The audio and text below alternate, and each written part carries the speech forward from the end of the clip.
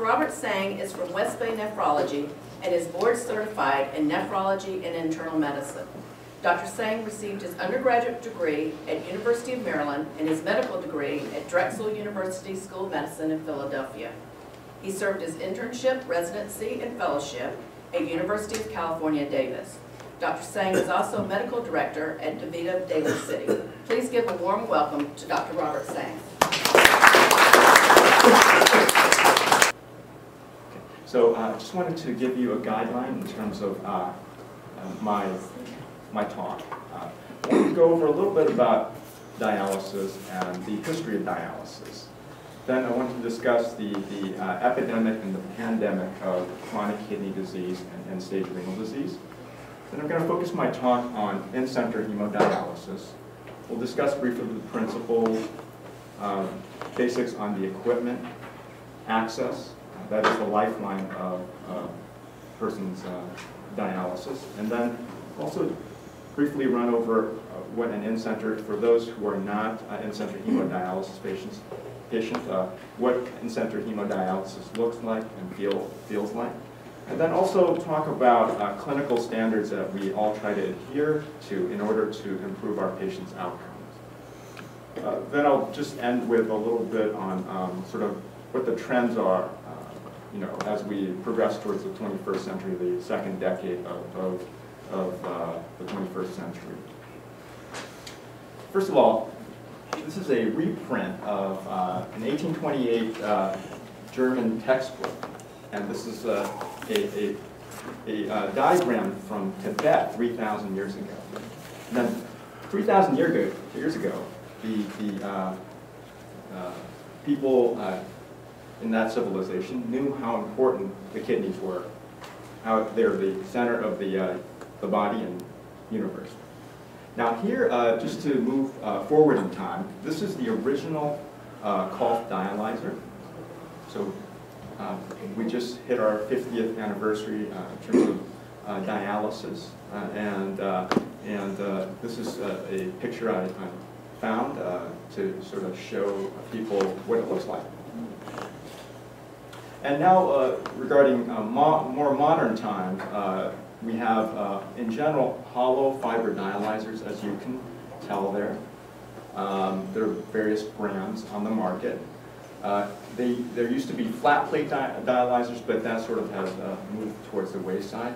This, is, this happens to be a Fresenius machine. So again, um, I would say it's probably the industry leader, but not the only choice in the market. So I wanted to just uh, to talk about Dr. William Kolff, the founder of uh, the dialysis machine, real briefly. Uh, as you may or may not have uh, known, he passed away a couple of years ago at the age, uh, ripe age of 97. And I wanted to share some uh, information about it. So he, he is known for creating the dialysis machine, but he was also someone who actually created the first blood bank in Europe during World War II in his native country, Holland. In fact, uh, he saved over 800 lives because he uh, housed uh, approximately 800 uh, people in Holland of Jewish descent in order to avoid uh, uh, Nazi genocide for, for those individuals. Um, he originally wanted to be a zookeeper, but his father talked him out of it, saying that uh, being a physician has better job prospects, something that's uh, something relevant uh, these days. He was actually, before the, the terminology was known, he was actually dyslexic, but he, uh, you know, did very well for himself and for, for the world. And then uh, he, as I mentioned before, he's from Holland originally, but he immigrated to the U.S. in 1950. And as I mentioned also before, he passed away in 2009 um, uh, here in the U.S. at 97. But I wanted to share also briefly uh, something uh, about uh, how he sort of thought about discovering the dialysis machine. He actually, during World War II, he witnessed uh, a 22-year-old man die of kidney failure. And he thought, well, you know, how can I help people in the future with kidney failure? And he basically thought about different ways of uh, creating a uh, an artificial kidney, as they're, they're called.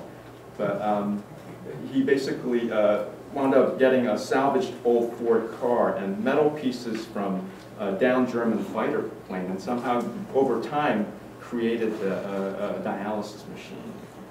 And, and the, the other ironic thing was, even though he helped um, uh, a lot of people of Jewish descent, uh, he, the first person that he saved uh, in World War II from kidney failure was, was actually a Nazi collaborator in Holland.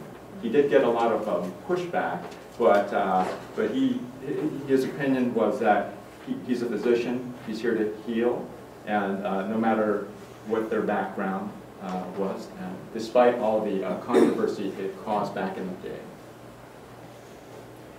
So let's talk about end-stage renal disease real briefly, and why it's so important uh, these days, from a, both from a societal level and from a world level. Uh, this is uh, data from the USRDS 2010. So this is uh, data from a couple of years ago. That's the latest uh, information available about new dialysis patients, so incident dialysis patients. Um, the, the top line uh, is, uh, is total dialysis. The second line right next to it is hemodialysis whether in center, uh, and um, uh, they, they, I don't think they've broken that down to home hemo, but, uh, but uh, that would be very close. Basically, uh, in the U.S., about 92% of patients who require renal replacement therapy uh, are, choose hemodialysis. And down here is peritoneal dialysis and transplant is a lower bar. And in terms of prevalent dialysis patients, the total amount of patients who require renal replacement therapy of some sort, uh, you can see here the numbers are pretty large. Uh, right now, uh, as of uh, two and a half years ago, there are 354,000 people in the U.S. that need uh, hem, uh, hemo, choose hemodialysis. Peritoneal dialysis, there are 26,500 or so that are on peritoneal dialysis. 165,000 people uh, have a kidney transplant, and then uh, people on the wait list, uh, a very large number.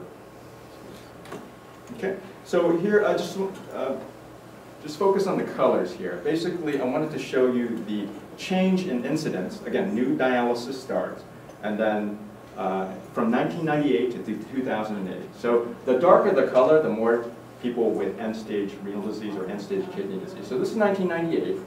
This is just 12 years ago. Here is um, 2008.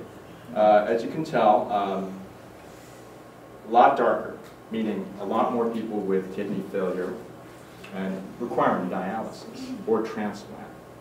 Now, um, the question is, wow, you know, that's quite a difference in 12 years. It can't be just genetic and, and uh, and sort of, you know, what I got from my parents or my parents' parents and so forth. Uh, but it is pretty drastic. And here, just to prevalent patients, so the number of people on dialysis that have been on dialysis, not new starts, here. You can see uh, quite a difference in uh, color. Uh, you know, the technology is getting better, so people are living longer. Uh, the mortality rate uh, has come down. But um, it is going to be um, challenging for a society in the future as time progresses.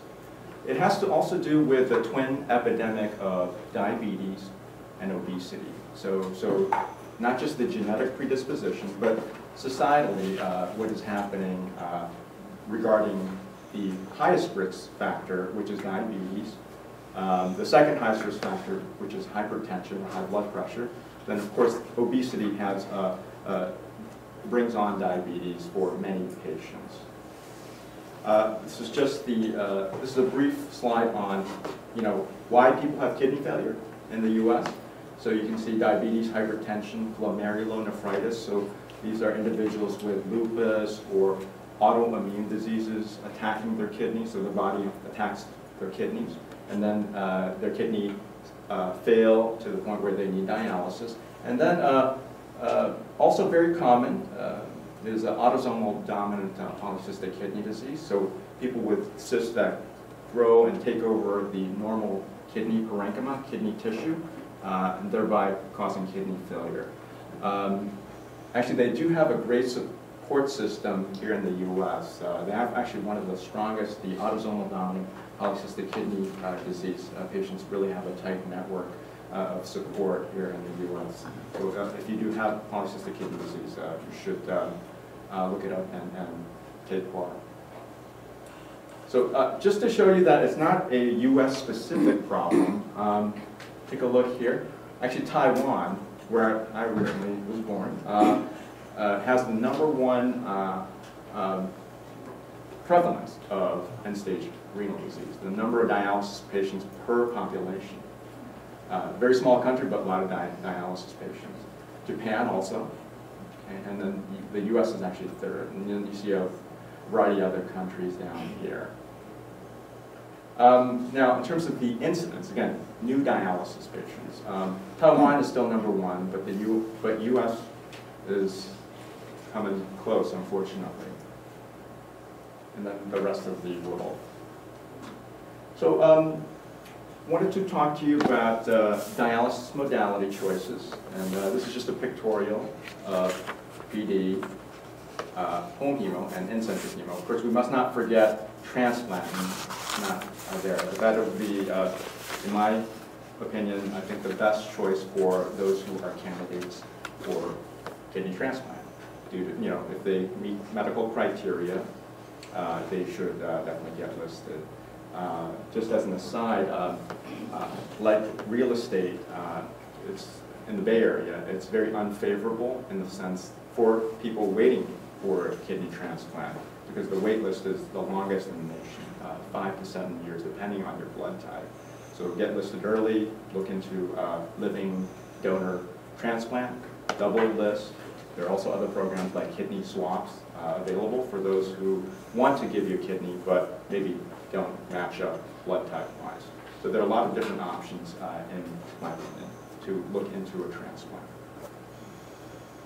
Okay, so let's talk about in-center hemodialysis. Um, Just to run down, as you can tell there, uh, traditional hemodialysis, this is what we've uh, been doing for, I'd say at least uh, 30 years since sort of it became the standard. Uh, Three sessions per week, uh, typically three to four hours per session, uh, sometimes a little longer, sometimes shorter. Uh, Here in the Bay Area, there also has been a lot of uh, uh, research on short daily dialysis in the center. So in fact, uh, one of my colleagues, Dr. George Ting, has been actively involved uh, in um, doing clinical research regarding this particular modality. So a person would typically receive five to seven sessions per week of hemodialysis, so they would go to the center, and then they would get their uh, uh, blood cleaned out, so to speak, uh, one and a half to two and a half hours. But they would come in uh, almost on a daily basis.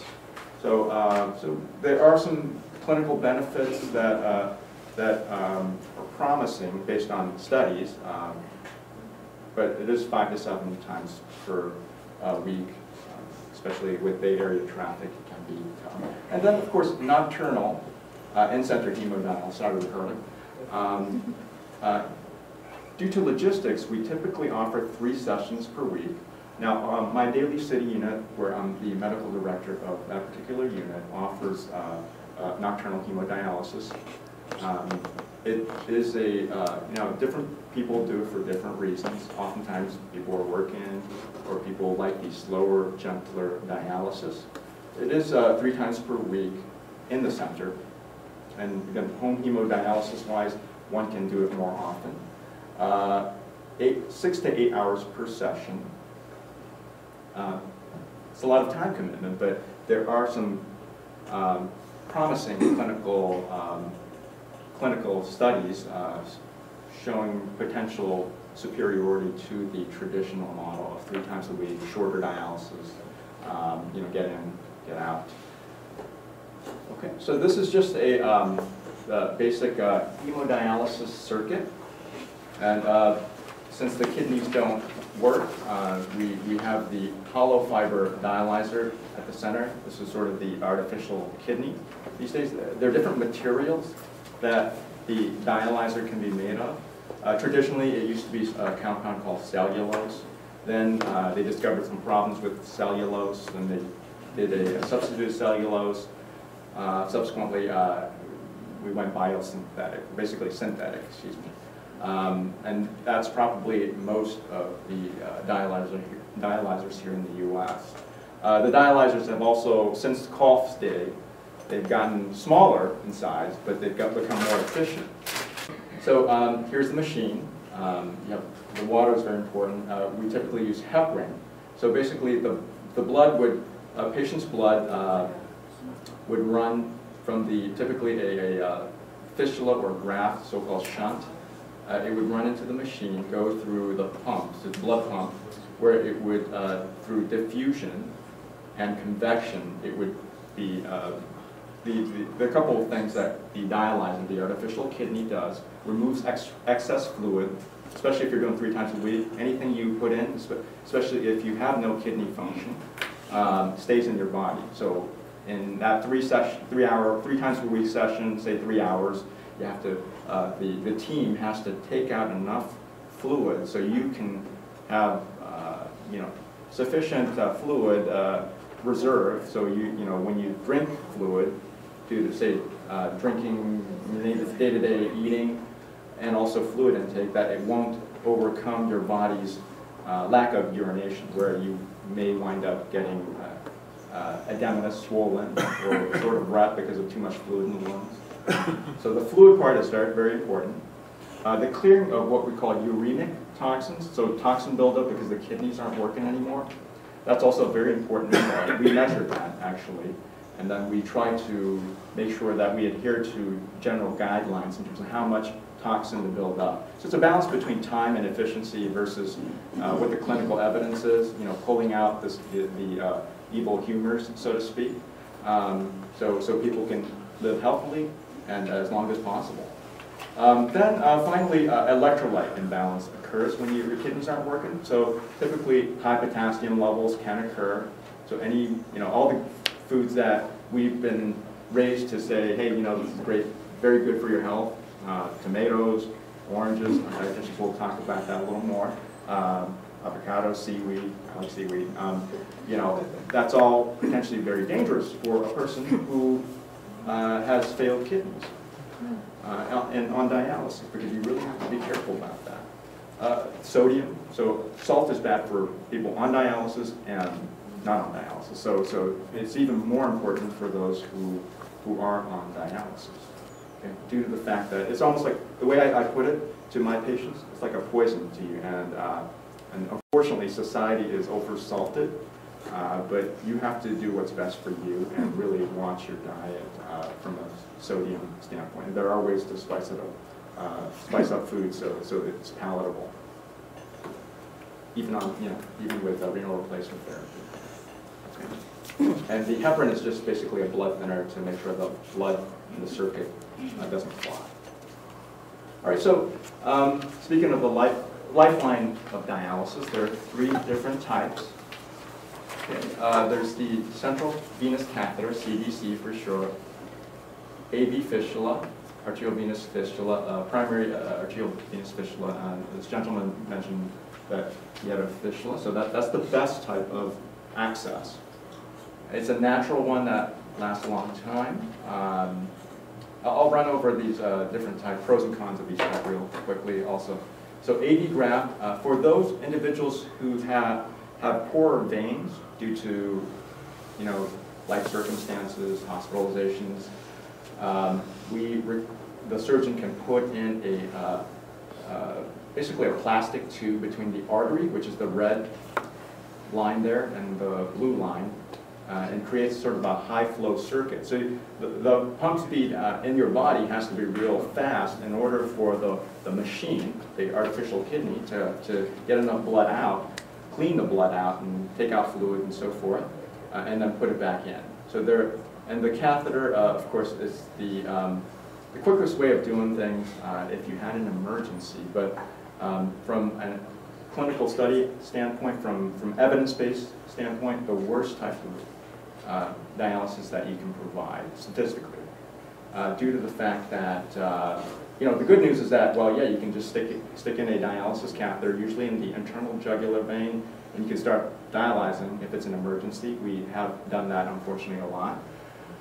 And uh, I'd say about, 50, according to the statistics, 50% of patients start emergently, so you know, on an emergency basis due to various reasons. So, so they usually wind up getting a hemodialysis catheter. So hemodialysis catheters are, uh, are, are more susceptible to infection because it's basically a pipe to, you know, main, main blood vessel of your body, and due to skin bacteria, it can seep in pretty easily. Is that a- referred to as a permacath? Yes, so they're different See, I didn't know names. what you were talking about there. Okay, so, so there are different terminologies. Uh, So permcath or permacath, it's actually a brand, for like Kleenex and tissues, it's bunch of synonymous. So, so yes, so exactly, permcath or permacath. Okay, there are temporary catheters also. So in a real emergency situation where you can't go to, say, a interventional suite or, or uh, the OR, the operating room, uh, then they can put it in by the bedside. It's a temporary catheter. It needs to be changed uh, ASAP, basically. Um, so the AV graft, again, uh, used to be more of a standard, but then we realized over time that it was less durable, uh, had more complications like infections also, but not as bad as the catheter, because it is under the skin. So there's a little layer of protection there. Um, and, and it causes, it tends to thrombose more, so it clots up more. So you have to, you know, try to unplug it through different ways. Uh, and then over time, it sort of just loses function, and then you have to go to the next site. So uh, the, the good thing about the graft is that if you put, if you have a surgeon put it in, it takes about four to six weeks before it's ready to go. So it can be used pretty quickly. And then the AV fistula is uh, all natural. So it takes a vein and an artery. Uh, the surgeon typically connects it. It becomes like a high flow pipe. But it does take time to mature, um, typically up to three or more months. So that's why it's important to, to really see the nephrologist and the chronic kidney disease team to make sure that you have timely access placement if you wanted to do hemodialysis, whether in-center or home hemodialysis. Okay? So it takes many months. Sometimes there, there are failures in the sense that the, the veins don't mature to the point where we can actually use it for dialysis, so they may need to have it revised. So the surgeon may need to do another procedure um, to, to make sure that it uh, gets big enough so we can actually uh, stick the needles into the, uh, the fistula, the fistula. It is the mo- most durable, uh, all natural, most durable of all internal accesses. Okay, so um, this is uh, so this uh, initiative called uh, Fistula First was launched probably about eight nine years ago now, where we noticed that the evidence to, in the nephrology community, um, fistulas are way better. So so over time they've been trying to educate the dialysis team, the nephrologists that that we should and of course the surgeons that we should really go for the fistula to create the fistula, take the time, take the uh, effort to do that, even though it does take more time to mature. So, so it's been shown to, to uh, work the, the, the longest and also have the less, least complication rate. So, but it's required um, a lot of education um, in the community. So, so, but over time, we've seen the numbers improve. Uh, I've seen it in my clinic. I've seen it in, uh, in US RDS data. So, so we are doing the right thing for patients. Uh, it does take time, you know, like anything else, um, and, and continued re-education. So let's talk about the, uh, let's talk about in-center hemodialysis. All right, so back in the day, uh, here's another picture of a person getting dialysis through a Kolff dialyzer, and uh, a dialysis nurse, also back in the day. And this is more a more modern uh, picture. Uh, this is actually from a dialysis in-center dialysis clinic in Nevada, so it has a um, southwestern motif. So it can be uh, pretty pleasant on the eyes. Now, uh, in terms of let's look at in-center hemodialysis and sort of the hours of operation. Um, uh, so anyway, usually uh, people come in at six. So there are three or four different shifts depending on the size of the dialysis unit. Uh, And, and the, uh, it's a 12-hour sort of uh, clinic typically, Monday through Saturday. Sunday, most people are off, um, except the people on nocturnal hemodialysis in center, they dialyze Tuesday, Thursday, and Sunday. So uh, I can speak for myself, uh, our hours of operation at Daly City are probably in the range, it's more in the range of 6 AM to 10 PM or so. In fact, team, you know, the DaVita teammates, uh, the DaVita employees have to come in probably about 4:30 or 5 to, to set up. And, and then uh, people have different shifts, uh, so typically three or four shifts of patients, and then also uh, uh, caretakers. Usually two, two shifts of caretakers probably in the center. Uh, And then, so there are different number of chairs in, uh, in the nation. Uh, 16 to 34 typically is sort of the range of how many dialysis chairs and dialysis machines where people come in. So 16 to 34 people uh, per session that come in for treatment to get, you know, their blood washed out. Uh, There, there are clinics that are up to like 50 chairs, so uh, unfortunately, due to the increasing incidence and prevalence of kidney failure, uh, there has been a capacity uh, issue. Um, So there are a whole host of different individuals who uh, take care of uh, the dialysis patient. Um, Obviously, it's a team effort, both whether at home or, or in the center, but we certainly rely, you know, I can speak for myself, I certainly rely on my dialysis nurses, uh, PCTs or patient care technicians, dietitians, social workers, uh, the facility administrator, or as it's called, the VITA, uh, and also the administrative staff to sort of keep the, uh, keep the uh, place running. Uh, They also help the- our patients um, understand a little bit more about their condition, the diet, and how important that is to maintain health, the importance of taking your medications as best as possible. Uh, They, they do a lot of the education for it, and, you know, I'm personally uh, grateful for them. Uh, So here's a, typical uh, dialysis uh, unit. Uh, I believe this is in the area, but I'm not 100% sure.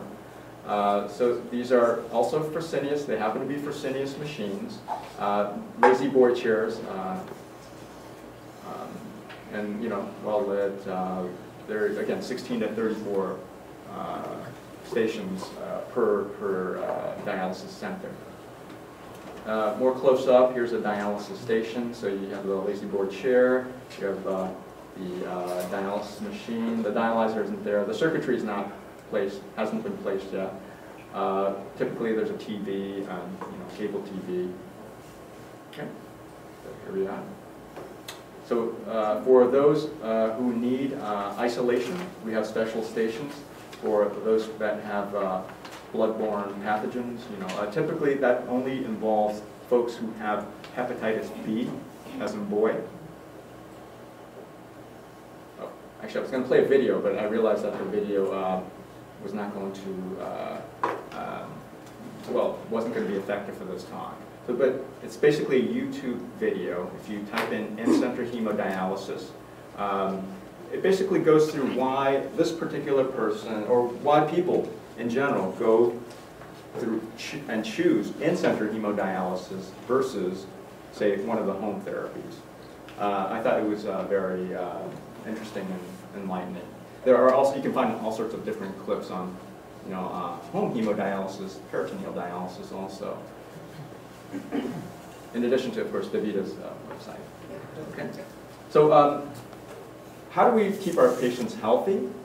Uh, well, we, we have a lot of uh, evidence-based and also um, opinion-based guidelines. So uh, we're not just sort of practicing in, the dark ages these days. There are different studies that and recommendations that have occurred over the years uh, where we know this is probably the best for our patients who need dialysis and, and there are certain numbers, very numbers oriented. So, so nephrology and kidney care is very uh, numbers oriented. So we try to hit the numbers, so to speak, uh, so we can provide the best care to our patients. Uh, adequacy, so how much toxin uh, removal um, is provided per session in, in in-center hemodialysis.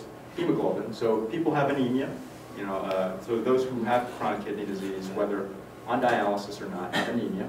So we also have different uh, quality outcomes for, for uh, hemoglobin or anemia management. Calcium, phosphorus, uh, I'm sure anybody on uh, dialysis uh, has uh, spoken, have spoken to their, their dietitian about calcium and phosphorus, taking their binders, watching what they eat. And dry weight, so the right amount of fluid that one takes off, or the set weight for patients not to get in trouble. So they want, say, try to prevent them from going to the hospital because they have uh, pulmonary edema or too much fluid in the lungs, but also not dry them out, so to speak, uh, to the point where they're, you know, dizzy and lightheaded. It, there's a, uh, admittedly, there, there is a definite, strict definition of what the dry weight is, but there's a lot of art and science to this. So I just wanted to share some basic uh, landmark studies uh, real briefly. So before 1981, we didn't really know how much dialysis that people needed uh, until the National Cooperative Dialysis Trial. Um, they basically took, the investigators took 151 patients. Uh, they, they, did, they measured uh, BUN, blood urea nitrogen, as an indicator of how much toxin buildup uh, an individual has with kidney failure, and that's what we still do. It's a urea-based uh, formula. And we try to make sure that, uh, so they didn't know at the time. So they had four categories of patients, four different urea um, levels, and then also different time periods on dialysis, two and a half to, uh, I think, four and a half hours of di hemodialysis. So they were doing basically intramural dialysis. And th uh, this study gave us uh, guidance in terms of, hey, you know, this person needs, you know, X amount of dialysis, X amount of hours and minutes for, of dialysis so they can achieve the appropriate clearance. Now, uh, there have been, of course, a lot of other trials since then, but, but basically this is sort of one of the key landmark trials that help the, the kidney community, the dialysis community, um, take care of uh, their patients as uh, best as possible. And so you, you know, for the, those folks on dialysis, you may hear KT over V or urea reduction ratio, URR. And still the uh, sort of the standard at this point in terms of making sure our patients live as long as possible and as healthily as possible. So why is calcium and phosphorus important? Uh, you know, I think uh, pictures speaks a thousand words. Uh, so our patients have trouble excreting um, fluid, but also they have trouble with electrolytes. I mentioned potassium and sodium. But also other ones include calcium and phosphorus. They also have trouble excreting calcium and phosphorus. So anything one takes in has phosphorus. Uh, you know, uh, we often recommend you know more protein in, in our dialysis patients, but protein has phosphorus. So so we we we have a strategy where we uh, give uh, medicines to to lower the intake of phosphorus in the body, so these occurrences won't happen. So this is a uh, calcified shoulder. So the calcium and the phosphorus, you know, in, in our longer term patients, uh, and also for those who don't, don't have uh, well-controlled calcium and phosphorus levels, they can precipitate in soft tissues, the lungs, in the vascular system. So this is the blood vessel, and this is calcium, basically. Uh, and then even in the skin, this is a, a condition, uh, it's a beginning of a condition called calciphylaxis which is a, uh, it's a very um, serious condition uh, and potentially uh, that, you know, fatal. So uh, we've known since the 90s uh, that phosphorus control is very important. There are strong associations of um, high phosphorus and death. Uh, and it's been reproduced retrospectively since then. Okay. So just to briefly run over, um, you know, dialysis issues, uh, complications, or lifestyle changes that one needs to have. Uh, during the treatment, as you can tell here, low blood pressure can occur because you're, you're basically uh, trying to replace the kidneys, and the kidneys used to work 24-7. Now, we're talking about three hours per session, three times a week, so we have to really rev up the uh, cleaning and the fluid removal, so one can experience low blood pressure. Uh, That's why there has been a lot of thought in terms of extending the time. Yes, it's more inconvenient, but probably physiologically makes sense. There's more and more evidence that longer dialysis is better for patients, or more frequent dialysis is better. So, so uh, also to avoid symptoms like low blood pressure and muscle cramps. Uh, Infection and clotting typically, uh, well, infections occur um, both from an access standpoint, so whether a catheter, which is more likely, or, or a fistula graft. But also people get other types of infections um, like pneumonia, uh, even urinary tract infections, cellulitis or skin infections. These are individuals, oftentimes they have diabetes, so they are more prone to other types of infections. And then itching, uh, what we call uremic pruritus. Uh, it's just a fancy word of saying uh, itching um, when you have kidney disease or kidney failure. And then outside the treatment, so you, you know, one does their session, and then one has to also take care of their health outside of the unit. So limited diet, um, fluid intake, because for many, if not most people, they don't urinate much. So anything you take in will stay in. Phosphorus binders, uh, very important uh, in our, you know, our care of our patients. Uh, kidney vitamins, because um, dialysis uh, also takes out water-soluble vitamins, and we have to replace the uh, water-soluble vitamins with uh, primarily uh, vitamin B complex with C. There are different formulations on the market, uh, but uh, uh, basically the same principle. We're trying to replace what we're taking out on, on dialysis. So um, another challenge in the 21st century that we've become more appreciative of and trying to take action against, access infection. So here's an individual with a tunnel hemodialysis catheter. It's in the right side, so it's the right internal jugular catheter. Um, I don't believe he's actually having an infection, but just wanted to uh, show you uh, a little more about, you know, in depth, a little larger picture of what it looks like for those that aren't on dialysis and don't have a catheter. And then, of course, the AV graft uh, is a is a foreign substance, uh, usually uh, plastic, a, a PTFE is known as typically.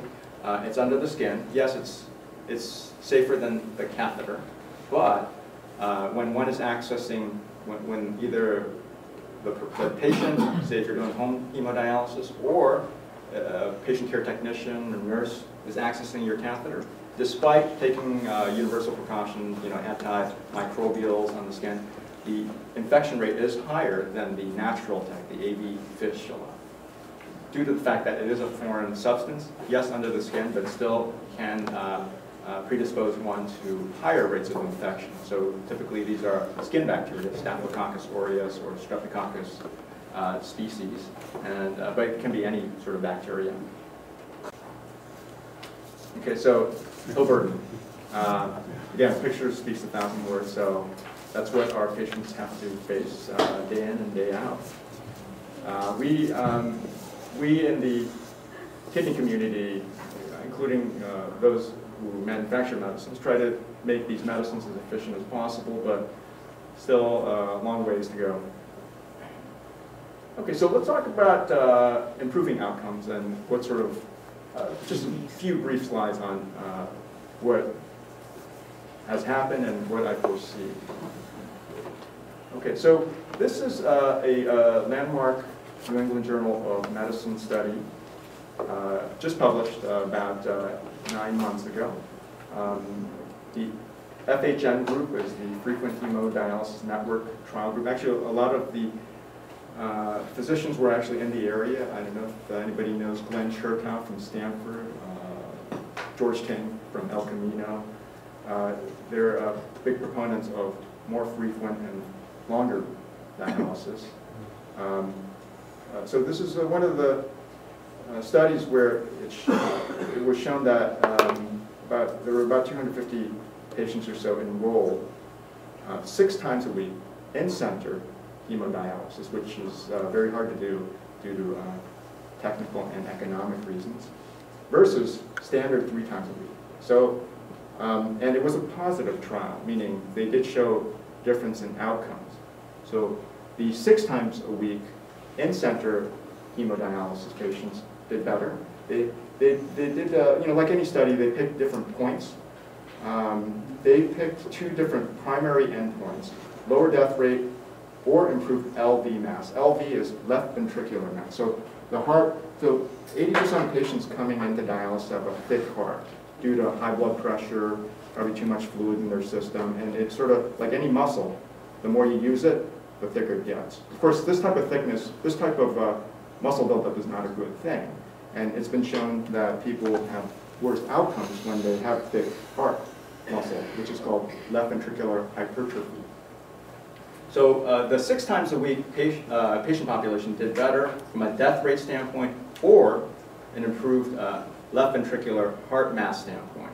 They felt these were important outcomes uh, that affected patients longer term. They also showed uh, lower death rate, and they combined it with uh, improvement in sort of physical health score, almost like quality of life standpoint. So that was also positive for the six times a week in-center hemodialysis patient population. Um, You know, there, there, like any trial, there are different interpretations. There are also um, regulatory factors that the government probably has to take a look at. But that it was very promising uh, uh, in the sense that perhaps what we've been thinking about traditionally, three times a week hemodialysis, may not be best. Short, three times a week hemodialysis may be not the best thing for our patients. And so what do I see in the future? Uh, I see, um, uh, again, this is primarily an in-center hemodialysis. I see more patients doing more frequent, longer dialysis at home, perhaps as a NxStage machine, uh, so you can actually bring it home. I see more people uh, doing peritoneal dialysis. We didn't talk much about peritoneal dialysis, but that has become more um, popular these days, especially for those individuals that just start uh, renal replacement or kidney dialysis therapy. Uh, there's some promising trials saying that people do a little better over the first two years of uh, their, their end-stage renal disease career, so to speak. And, and of course, transplant statistically is the best option, but we always think about how we can get them to the next level. Um, I, I sometimes tell my patients, okay, you know, this is just the transition period, uh, purgatory, if you want to call it that. Um, and that we, our job as the team is to try to get you to the next level, you know. Um, get, get you listed early, even before dialysis. Um, think about different options that fit your lifestyle needs, plus, you know, what's more likely to help you transition to the next level healthily and happily. Uh, and then uh, also uh, nocturnal dialysis, whether in-center or at home, I think is very promising. I, I see um, if, as the clinical outcomes come about and are published, um, our community will probably, uh, you know, be more of a proponent for that type of longer, slower, gentler dialysis therapy in order to keep our patients uh, more healthy and, uh, and potentially to, to kidney transplant. Okay, so uh, I'd like to conclude by the following. Um, As I've shown you, um, ESRD, end-stage renal disease or end-stage kidney disease, uh, the population continues to grow. And there are both societal and economic implications that we have to uh, come to grips with as a, as a country, as, as the world. Uh, in-center hemodialysis uh, is, you know, traditional in-center hemodialysis is still the most popular uh, for those individuals in the U.S. It does vary different countries. You know, uh, as I mentioned, 92% of our patients start with uh, hemodialysis, typically in-center. Uh, If you look at certain other populations, say in Asia, you know, 40% are on peritoneal dialysis. So, uh, in fact, Hong Kong, I think, is like 70% uh, peritoneal dialysis, 70 or 80% peritoneal dialysis. So, um, you know, there, there are implications there, and, and I think uh, as the evidence comes out, um, you know, as uh, more um, regulations come out, we may uh, have more people dialyzing at home. I foresee that. Uh, And significant technological advances have occurred since uh, Dr. Kolff's day, and, and many of our uh, equipment plus you know, clinical trials have improved our patients' outcomes. But uh, of course, uh, and this is the clinical trial uh, part, uh, and medical advancement is of course important in any field. And then uh, despite uh, all the improvements, we still have a lot of challenges ahead for our community and for our patients. The end. Thank you.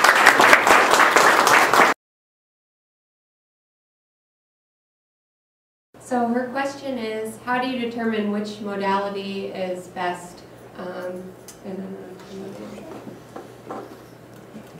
Uh, Pre-dialysis, uh, if I have the luxury of uh, seeing uh, my, my patient, uh, we, we have uh, multiple clinic visits prior to needing renal replacement therapy. So we, we have an opportunity to discuss a couple of things. You know, if they're younger and healthier, transplant, get them on the list ASAP. Uh, Look into a living uh, donor transplant.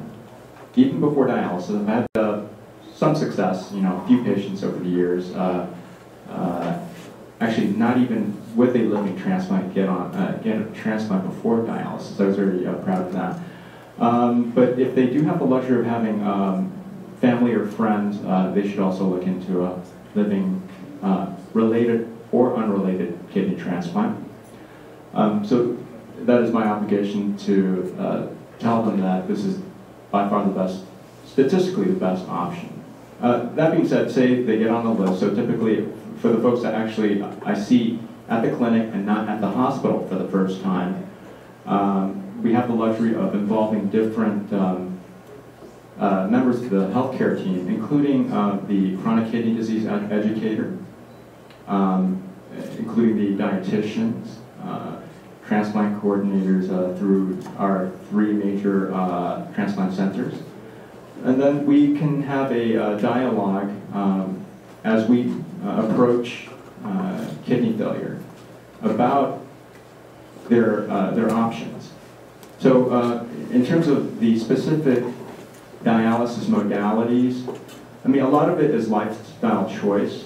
So whether they want, they are comfortable and they're um, willing to do dialysis at home, whether they, they uh, are, you know, the, the, the home therapies, there are two of them as uh, I've highlighted, home hemodialysis and peritoneal dialysis. Peritoneal dialysis can be done more easily at home. Uh, it doesn't involve blood, so one doesn't need a partner uh, per se, unlike home hemodialysis. Not to say that home hemodialysis is, is, is not a good option. I mean, I think it's one of the best options available at this point, especially with um, you know the new technologies that are out there. Uh, I think the NxStage machine is, uh, is an excellent uh, uh, piece of equipment. I don't own any NxStage stock or anything like that. I do believe uh, in general principles uh, regarding trying to simulate what your kidneys used to do. So the longer, the slower, the better. Peritoneal dialysis also does that. It's also been shown to uh, re- uh, reduce the slowdown of your original kidneys because it's a gentler therapy. I would probably say the same about, uh, you know, longer dialysis, whether nocturnal in-center hemodialysis or home hemodialysis. So, but certainly, I think these days, most up-to-date nephrologists would say, hey, you know, transplant number one. If transplant's not an option, then let's look at your home situation. Uh, let, let, let's look at your, you know, who your support system is, and try to see if we can get you home uh, with the support of the, uh, the healthcare team, the, the kidney team, including myself. Um, if that's not an option, uh, then, then uh, we look at uh, nocturnal dialysis and, and standard uh, traditional in-center hemodialysis. Mean, we do have a, I think uh, the units that I go to are all very high performing. They have uh, great uh, uh, people working there, and we, the physicians, the nephrologists, certainly depend on every one of them. Uh, so, so it's also relying on your team to, to do the actual dialysis procedure. Um, so, in terms of uh, the different types of, I think there was a question before the talk about where, where um, a patient can go. They can go to any dialysis unit. If they choose in-center hemodialysis or home dialysis, uh, they can go to any center they choose. Uh, typically, a person would choose due to geography. You know, for example, if someone lives in Daly City, they're not going to go to dialysis in Palo Alto three times a week, and uh, or, or across the bridge. Uh, now, uh, of course, if you're doing it at home, uh, it, there's a little more flexibility. You know, regarding training, since most of the action, so to speak, uh, happens at home. Let's talk about, um, I guess, the ac- uh, vascular access cycle of uh, a person on hemodialysis. So uh, we typically put in fistulas. So I've had, I've had patients on hemodialysis for 35 years, is my, is my record. Uh, So yes, access becomes a problem as time progresses. So we first use up the forearms, so the non-dominant uh, arm, and then we go typically to the upper arm. Then uh, we can also put in a graft, plastic material there. And then we have the other arm, same thing. And then the groin, uh, typically, uh, so the femoral artery, so you can put in a graft or a fistula. So say those give out. Uh, Then we have a couple of options these days. Um, There are other alternative graft sites. um, And also, uh, there, there is perma- the permanent catheter, which we would like to avoid based on uh, the clinical data that's out there. Um, There have been a couple of de- novel devices over the years, uh, actually recently uh, uh, developed uh, a so-called HERO device, which one could potentially be a candidate for. So we're trying to, H-E-R-O, like hero. Um, And that's in some ways like a graft, but it doesn't involve um, the, the, uh, the larger flow uh, veins or arteries uh, in a sense. So we are looking into anybody with the, with a potential permanent catheter to, to look, uh, to potentially get a so-called hero device. Then uh, there are other um, types of catheters. If you're, so sometimes people also wear out their internal jugular subclavian vein. So we're, we're talking about a femoral catheter, which is sort of the dirtiest area of the body. Um, and we try to avoid that. Now, I have one person on that, unfortunately. Uh, so we, at that point, we would look into uh, also, uh, we mustn't forget peritoneal dialysis. In general, I think about peritoneal dialysis um, more these days. Uh, but but um, if they already tried peritoneal dialysis or are incapable of doing peritoneal dialysis, at home, then the HERO device would be an option. Uh, Transplant is of course another option that we should have looked, as a healthcare team, as part of the healthcare team, we would have looked into ASAP, or even before dialysis, if I had the luxury of meeting him or her before dialysis. Peritoneal dialysis, uh, typically if one has had um, multiple bowel surgeries, uh, or, or say, uh, intra-abdominal processes, malignancies, cancers, uh, one would, uh, say the team would probably, and the nephrologist would probably advise against that situation. Um, traditionally, if they had um, poorly controlled diabetes, uh, one would probably consider avoiding it, but, but we do have some novel solutions uh, out there for peritoneal dialysis that doesn't include sugar, or includes less sugar, so we would consider that now more than before. Um, so anything that, if you've been cut multiple times in, in, in, uh, in the uh, peritoneum, in the front, then we would probably less likely choose that option. Of course, there's also home situation, uh, uh, psychosocial I- issues that may arise if they live in a skilled nursing facility. Uh, obviously, we can't do peritoneal dialysis. Okay, So, so there are other, eh, so in terms of hemodialysis, um, one can always do hemodialysis with a catheter. Of course, that would be the worst option. In terms of uh, putting in a, uh, a shunt or a fistula or graft, um, you know, rarely, uh, well, if they have really poor veins, they may not be can or they've been used up. They may not be able to uh, have a graft or fistula placed.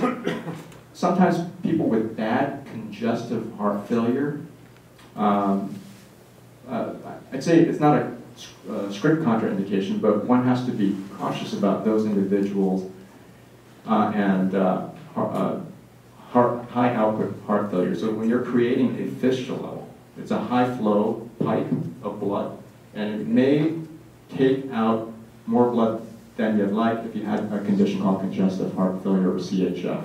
The other thing is sometimes people, when we create these fistulas or grafts, they can have a arterial steal syndrome, S-T-A-L syndrome, where you're stealing the blood from the hand and it causes major problems on the, uh, of the hand. So these are complications more than, uh, than strict contraindications. If you have a well-maintained calcium and phosphorus uh, balance, you can uh, slow down and, uh, again, based on the few randomized clinical trials that are out there using uh, electron beam CT scanning, so they could actually tell how much calcification there is uh, over time. Um, you can reverse it to a certain extent. Um, a lot of the uh, damage has been done over the years, um, but one can slow it down definitely with uh, adequate uh, uh, or optimal uh, phosphate control.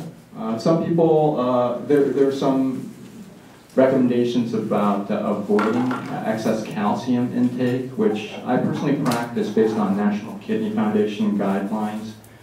Um, you know, using um, primarily non-phosphate, sorry, non-calcium phosphate binders, so using more of the, uh, I also don't own any uh, Renagel stock or Renvela stock, but Renvela or Renagel, Fosrenol, um, rather than Tums calcium acetate, or also known as PhosLo. Uh, but I think the most important thing is probably controlling the numbers first. Uh, in my personal practice, I try to avoid excess calcium phosphate, phosphate binder uh, use, um, sparingly, if not at all. And then we, I think uh, uh, the, the whole other issue about parathyroid hormone uh, control, uh, I think the jury's still out, but one can potentially uh, limit the vascular calcification there by controlling that issue too. Thank you. Thank you all for such a wonderful presentation.